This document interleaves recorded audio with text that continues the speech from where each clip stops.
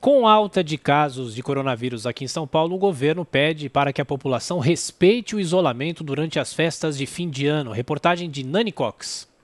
O governo de São Paulo espera reverter sinalização negativa das operadoras de telefonia para continuar o sistema de monitoramento inteligente.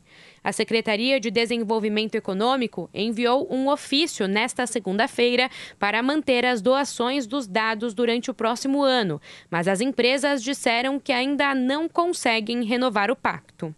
O acordo feito no início da pandemia tem validade até 31 de dezembro e permitiu localizar aglomerações a partir de informações fornecidas pelas operadoras. Segundo a secretária Patrícia Ellen, a adesão às medidas de restrição tem reduzido significativamente.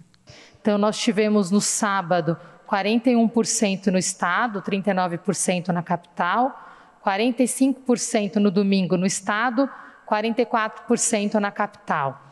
Lembrando que os níveis pré-pandemia eram entre 25% e 30%.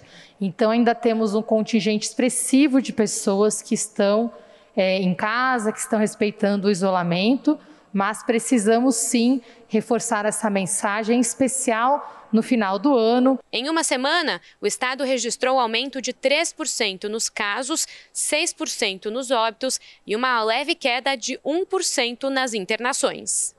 Quando comparado com o último mês, os casos tiveram um incremento de 54%, os óbitos registraram alta de 34% e as internações 13%.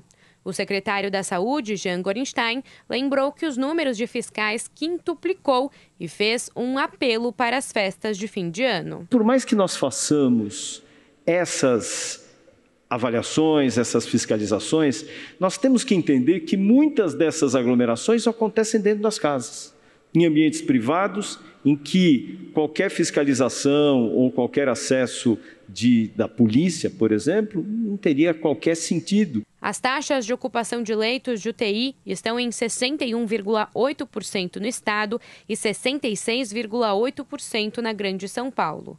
Desde o início da pandemia, São Paulo registrou 1 milhão 388 mil e 43 casos confirmados da Covid-19, com mais de 45 mil óbitos pela doença.